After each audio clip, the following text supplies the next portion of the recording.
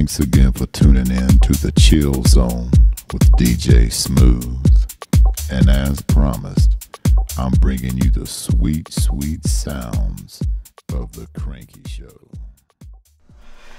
Hey everybody, Dr. Cranky back with another um, update on the uh, Area 51 Ghia. Um, we used a, a variety of um, primers on here, a little bit of black and a little bit of brown, but then we also mixed um, Hull Red by Tamiya with a little bit of brown and we hit this one up really well and uh, just, you know, covered it all up uh, to make sure we have a good foundation for our shadows and our shading and all of that.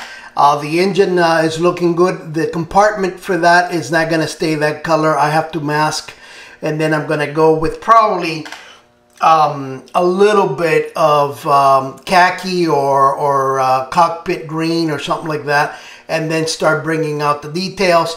Then of course we'll seal it with our you know it's with our magnetized hood and then um, spray the uh, the color patterns on here. We've got we've got a couple of surprises on how we're going to do this and uh, everything is ready to go. So um, you know, it's it's looking it's looking really really good, and everything works.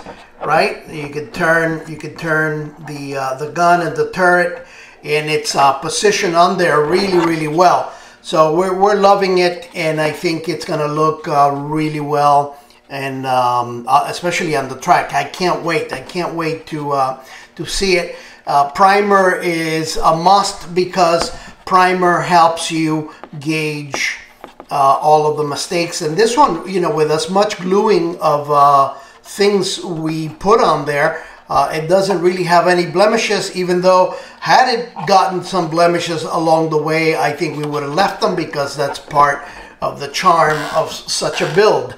Anyway, my friends, stay tuned in for more Cranky Show, more progress coming up.